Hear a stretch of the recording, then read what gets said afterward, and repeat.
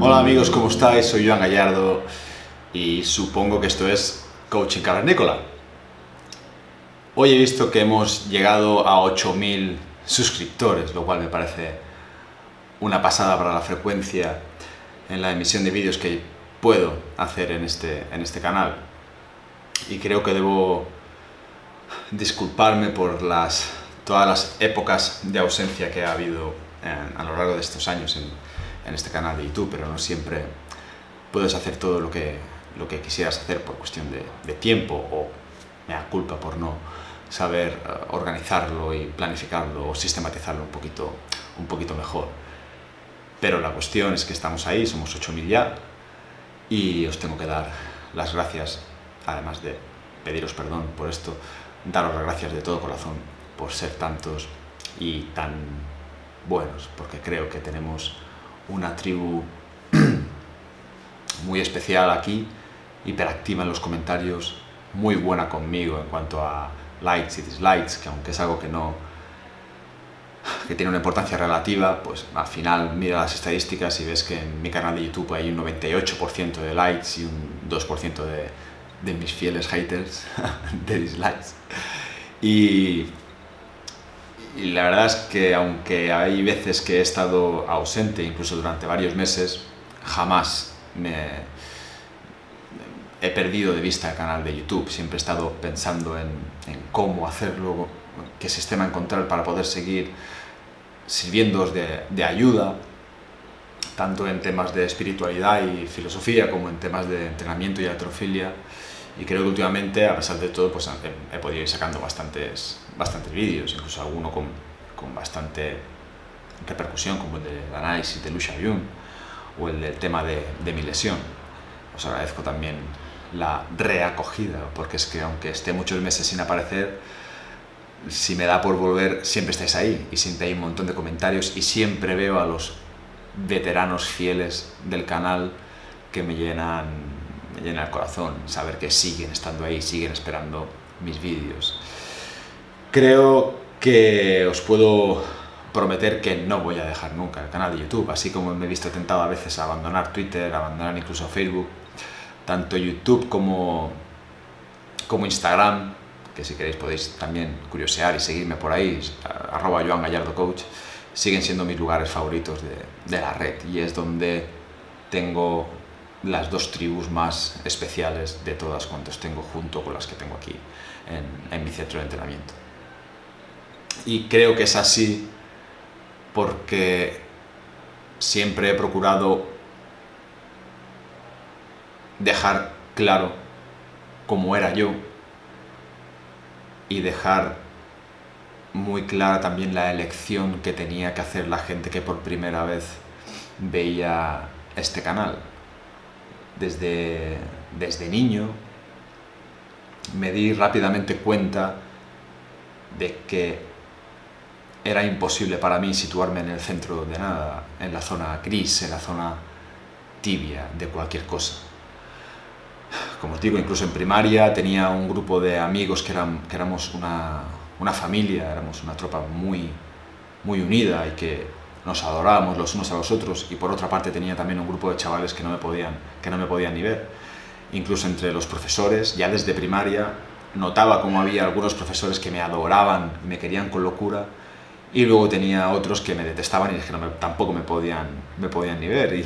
Y en mi adolescencia y primera etapa de la adultez siguió siendo así. En cualquier ámbito donde yo me dejaba ver, eso sucedía. Y llegué a entender que lejos de sentirme mal por ello, debía alegrarme porque de alguna forma estaba dejando facilidad para que la gente hiciera esa elección. Mostrándome tal cual soy y siendo muy transparente y honesto con vosotros, os doy esa libertad. Y, y no permito que alguien tarde demasiado tiempo en conocerme. Siempre he intentado acelerar muchísimo ese proceso y que una persona pueda decidir muy rápidamente si se queda conmigo o si me pone a parir desde, desde la valla. Y me alegro de que sea así, porque depura muchísimo la tribu y no permite tampoco invasiones en la tribu. Y como os digo, esta tribu es demasiado especial como para permitir que eso pase. Mm, siempre he pasado de, la idea de gustar a todo el mundo porque sé que es imposible. Quiero decir, critican a Messi, criticaban a Jordan, criticaban a Mourinho, no me van a criticar a mí, vamos. Pero lo que quiero decir es que nunca he intentado gustar a todo el mundo ni moderar un poquito mi mensaje para molestar menos a la gente a la que disgusto, porque eso provocaría una falta de fidelidad hacia la gente que me sigue por ser tal cual soy yo. Y eso es algo que yo valoro muchísimo, que haya gente que quiere estar aquí conmigo, aun sabiendo que a veces soy un, un puto cavernícola, pues es algo que a mí me hace sentir muy bien, porque me permite lanzar un mensaje puro, que es el mensaje que yo llevo dentro de intentar ayudar siempre a todo el mundo. Y sé que a muchos de vosotros este canal de YouTube os ha provocado más de un cambio, más de una transformación y así me lo habéis hecho saber con cientos de mensajes durante todo este, durante todo este tiempo, los cuales también os agradezco muchísimo. Ahora me arrepiento de no haberlos recopilado a base de pantallazos, pero bueno, he empezado con ello también porque es una forma de que os quede claro que a mí me llega eso, que a mí me hace muy contento saber que eso es así y que lo llevaré en el corazón el resto de mis días por aquellos que empiezan alterofilia porque me ven a mí aquí y así me lo dicen, he empezado alterofilia por ti, cosa que a mí me parece alucinante porque yo no dejo de ser un, un mediocre, muy apasionado, muy estudioso, pero mediocre y que me limito a intentar echar una mano a aquellos que están ahora como estaba yo hace ya 5 o 6 años, solo y sin tener ni puta idea de lo que estaba haciendo. A mí me hubiera gustado tener un Joan Gallardo ahí al lado que me contara cuatro truquillos de, de y que me resolviera cuatro dudas. Y por eso yo me veo en la obligación moral y espiritual de daroslo aquí. Luego también está la parte de coaching cavernícola, que al fin y al cabo la gente me pedía que volviera y que sacara vídeos con frecuencia, pero sobre todo de coaching cavernícola. Porque aunque son los vídeos más difíciles de hacer, porque son los que tocan los temas más delicados, los que atañen a, a la estabilidad emocional, espiritual y a la felicidad de la gente, son los que más obligado me veo yo a ofrecer y a exponerme mucho más a que me rajen o a que me pongan a, parir. pero me veo obligado a hacerlo porque yo no lo he tenido fácil en la vida. Me han pasado, se han materializado todos los miedos que he tenido durante mi vida, se han hecho realidad constantemente. Me he notado muchas veces al límite o al borde de, de caer destruido, de hundirme. He tocado la mierda muchas veces, pero aún así, no sé cómo, o sí, y por eso lo cuento, he conseguido ser feliz, a pesar de los problemas, aún viviendo con ellos en algunas, en algunas ocasiones. Y creo que eso me eh, tengo la obligación moral de contarlo. No de decirle a la gente lo que tiene que hacer, que eso yo no lo he hecho en mi puta vida, ni de decirle a la gente que tiene que creerse lo que yo le digo, cosa que tampoco pretendo. Si algo puedo pretender yo aquí, en ese aspecto, en el de coaching cavernícola, es en el de liberar a alguien de su propia mente que, entienda, que, que, entienda la gente, coño, que hay otras formas de ver la vida, de entender las cosas.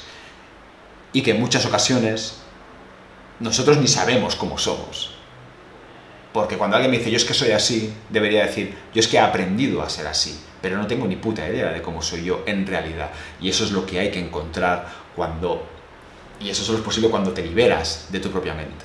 Y eso es lo que yo hago aquí con Coaching y en todo eso os agradezco que sigáis ahí y yo voy a seguir aquí con vosotros y os voy a prometer que me voy a esforzar siempre en complacer a los que de verdad me seguís y a los demás no voy a prestarles atención porque sería quitárosla a vosotros y es algo que si depende de mí no va a pasar y como depende de mí pues no pasará.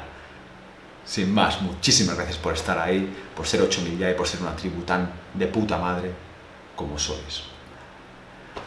Sé que a veces soy un poco gilipollas y un poco capullo, un poco hijo de puta, pero como dije ayer en, mi podcast de, de y, en, y en mi Instagram, soy un hijo de puta, pero al menos soy vuestro hijo de puta.